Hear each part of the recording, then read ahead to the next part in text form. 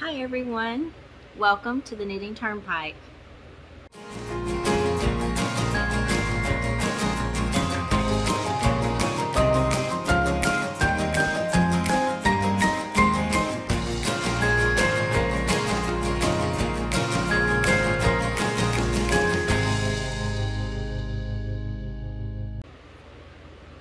Welcome to the Knitting Turnpike. My name is Gina Pike. I'm so happy that you're here today. Today we're going to be doing another episode of What Are You Knitting? I believe we're up to episode number 23. Today we're going to be talking about a finished project that I have and one project that is a work in progress. And then I'm going to be talking about some yarn that I recently got at, that I bought that um, is being added to my stash. So we're going to have a little bit of a mishmash. And uh, anyway, so happy you're here. And you guys know what this means. When I do a What Are You Knitting video, I like to know. I share what I'm working on and I like to know what you guys are working on. So down in the comments below, please leave me a comment. Let me know what you guys are working on currently. We love to hear. We love to share. And so um, please don't forget to do that. That's why I do these videos so that you guys will share with me um, I believe I don't have any pictures of any project that you got projects that you guys have sent me. Um, I also like to share pictures of projects that you guys are working on. So um, just a reminder, if you'd like me to share your projects um, here in these types of videos, send me an e a picture in my email to my email address, uh, knitbymoonbeams at gmail.com. And I'd be happy to share um, the projects that you're working on. Be sure to include some type of little information about it, you know, the pattern, the kind of yarn you're using, why you might be making it, that kind of thing. So, today I said I have a finished project to share with you. You guys have seen this before in one of my other What Are You Knitting videos.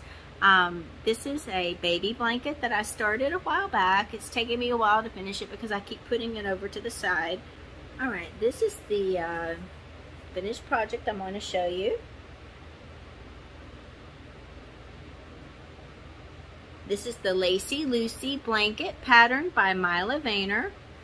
Um, it starts with a garter stitch edge, uh, 10 rows of garter stitch, and then you get into your pattern repeat. And this pattern repeat is a four row repeat.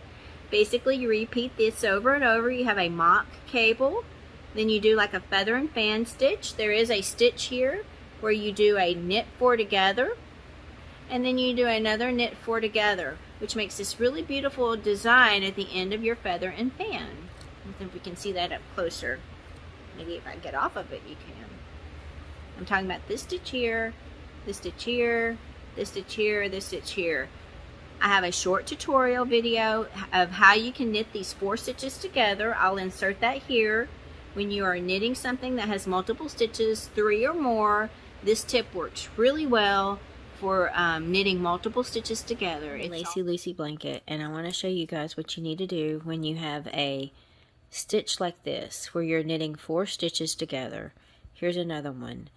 Um, one thing I'm having to remind myself to do is that on the row before I knit these four stitches together, which is a, which I'm about to do, you want to knit this wrong side row extremely loose. I don't know if you can see the stitches are not on my needle at all very tightly and I'm just going through it's a purl row and I'm knitting it extremely loose.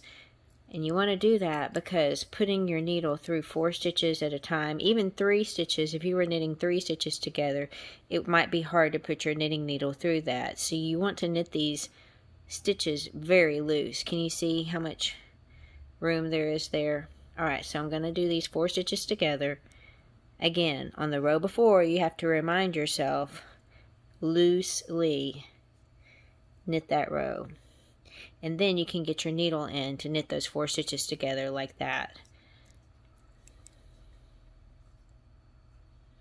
And that's my one little tip for knitting this blanket because you're going to be doing those four stitches together every four rows to create this design. So I like to do that and you just have to be really aware of where you are in your pattern. This is a four row repeat so on the row before you have to make sure you knit that row really loosely so that you can get, insert your knitting needle into those stitches and knit them together easily. Otherwise, it's a bit of a struggle and things can kind of get bunched up and you start having less and less room for your blanket to spread out and show your stitches.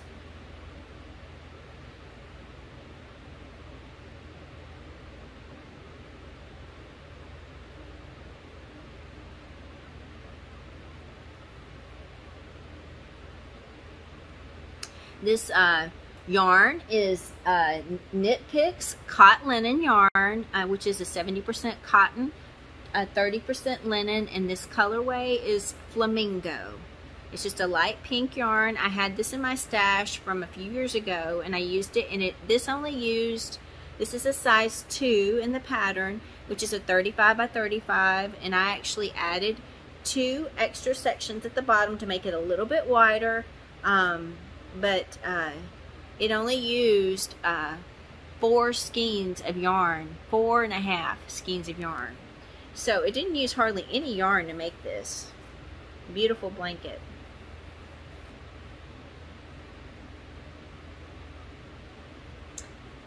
Alright, so that's the first thing I wanted to show you guys, a WIP, a finished project, yay!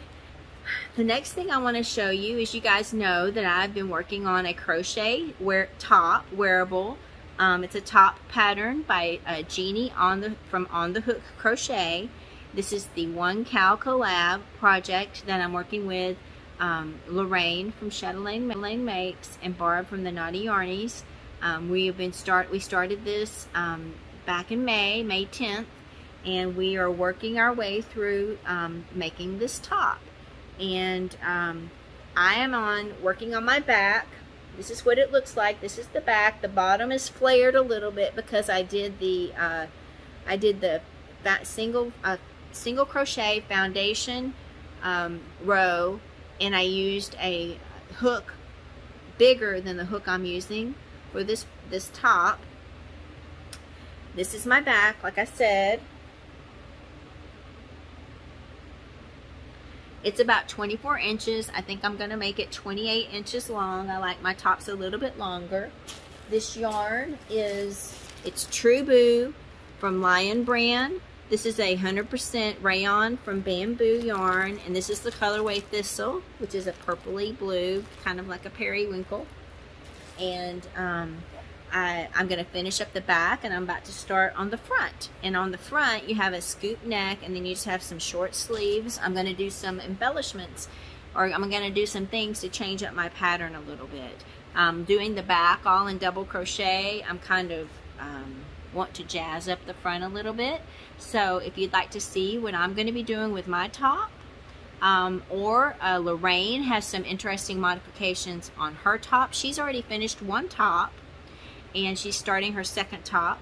And I know Barb is going to be doing some interesting stuff with her top because she ran short of one of her yarns. So she's going to be making some really cool um, changes to the pattern to make, mix it up and make it her own. We have about 30 people in our face. We have a Facebook group. It's called One Cal Collab. If you'd like to join us in making this top, there's still plenty of time. We're going to be running this Cal till the end of uh, July. July the 23rd is the last day that you can submit pictures to us. And we'll be doing a final prize drawing on the 26th of July. We are drawing prizes every two weeks.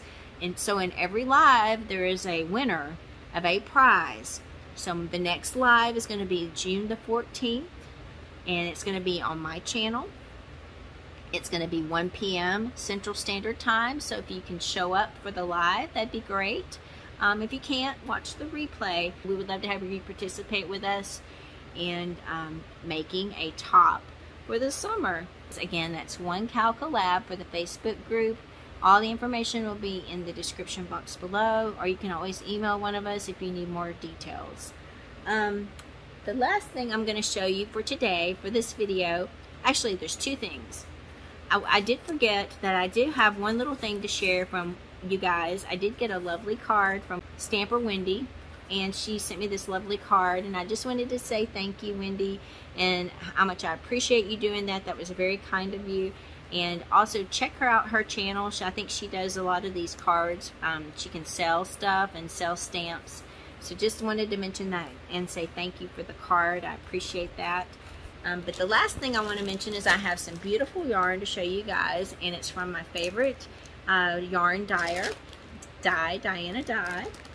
I um, was uh, looking around on her yarns. She has a yarn group in Ravelry, and that and in that group she posts the uh, pictures of yarn that she's dyed and that people have purchased. And um, I was looking at some of the yarn in there, and I saw some colorways that I didn't see on her website. So I reached out to her and asked her about it, and she said that she had to discontinue them but that she was looking to restart them because she'd found a different supplier of the dye that she used for that yarn. So I was like, I want some. So I got some new yarn that she's going to be adding back to her website. And you guys ask, what color is it? And I'm dying to see it. So here we go. This is all 100% bamboo yarn because you know I like the bamboo color yarn base that she uses. But this is the first colorway I don't know if you can see all these gorgeous green speckles in it. This is called, let me get it the right way, Aquifer. And look at this yarn. Oh, so beautiful. And this is called Aquifer, and it pairs really nicely with another yarn that she's adding back, this one. And this one's called River Deep and that's the colorway. And you can see that these yarns go very well together. The green speckles in that aquifer go really nicely with the green of the yarn in the river deep so isn't that beautiful? So I got these. I got two skeins of the aquifer and two skeins of the river deep but I probably see myself pairing these together and having another pair And then the other yarn I got from Dye Diana Dye is something she has on her website, but that I've always wanted to get that I haven't, is this 2 two times R teal 2. And I got two skeins of that. And look at this beautiful color, teal color yarn. Ugh. I love how it's got some tones of shades of black or dark gray in there as well to give it some rich depth and color. And it's just a beautiful, beautiful yarn. So thank you, Diana, for my new yarn. And I hope uh, sharing that with you guys, you can see the beauty of her yarn. And that's kind of why I like to use her yarns for my shawls because they have amazing sheen. They're soft. They're bamboo, which makes them lightweight. And they're just um, gorgeous colors. She's such a, a beautiful dyer and uh, uh, makes it just so much fun to knit with. So I just wanted to share those with you. Thank you for letting me share that. I think that's all I have for today's What Are You Knitting? Again, don't forget to put comments down below and tell me what you guys are working on. Um, if you are a new person here and this is your first time watching one of my videos, um, we would love to have you join our family if you are interested in watching videos about knitting and crochet and uh, sharing what you're working on. I share what I'm working on and I would love to hear what you guys are working on in return. If you are that type of person, we would love to have you join us. So please hit that subscribe button, join our family. We have some giveaways from time to time as well. We celebrate the milestones and I try to say thank you back to you guys for being here. So please join our family. Let us get to know you. Let us get to know what you're working on, what you like to work on. What are your favorite colors of yarn? What is your favorite yarn? Things like that. Those are the th kinds of things we'd like to know about you and like to have you share with us and we share with you. Um, if you are someone who's been here forever, not forever, but this year that I've been doing this, thank you so much. I appreciate each and every one of you. Um, you guys mean the world to me, and if it weren't for you, I would not be doing this. So thank you so much. Thank you for being here. I hope you all have a lovely day. Thank you for letting me share my knitting with you, and uh, I appreciate it. I will see you all very, very soon. Take care.